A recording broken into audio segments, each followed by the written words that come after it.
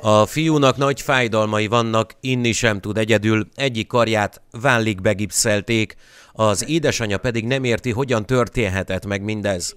Annyi történt, hogy értesítettek az iskolából múlt hét ö, csütörtökön, hogy menjek be, mert a gyerek verekedett. Bementem az iskolába, akkor már láttam, a gyereknek be volt dagadva a karja, akkor a másik keze is be volt dagadva. Annyit mondtak, hogy verekedett a gyerek, egy nagyon nagy körzével oda lett neki vágva.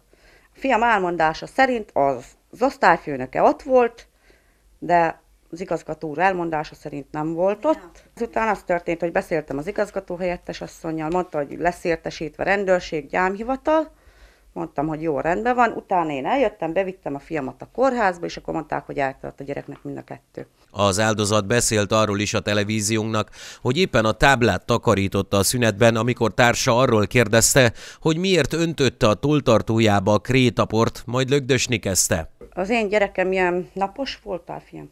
Napos volt. Ő, annyi a dolga neki, olyankor letörli a táblát, szellőztet, és a másik kisfiú állítása szerint beszaladt a terembe, amikor neki nem lehetett volna, mert szünet volt. És akkor összeverekedtek, utána az a fiú felkapott egy nagy körzét, és akkor avval itte. Beleszúrta. Nem szúrta bele, hanem ütlegelte a gyereket vele.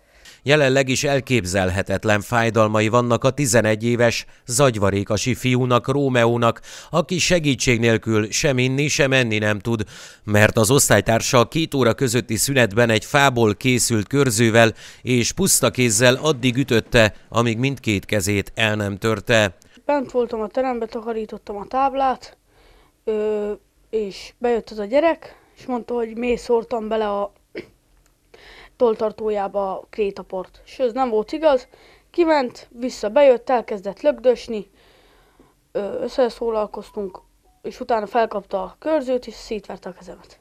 Az iskola közleménye alapján elkezdték az ügy teljes körű kivizsgálását, ugyanígy tett a Szolnoki tankerület is, az esetet pedig már jelentették a család segítő szervezetnek. Az ügyben a rendőrség is nyomoz.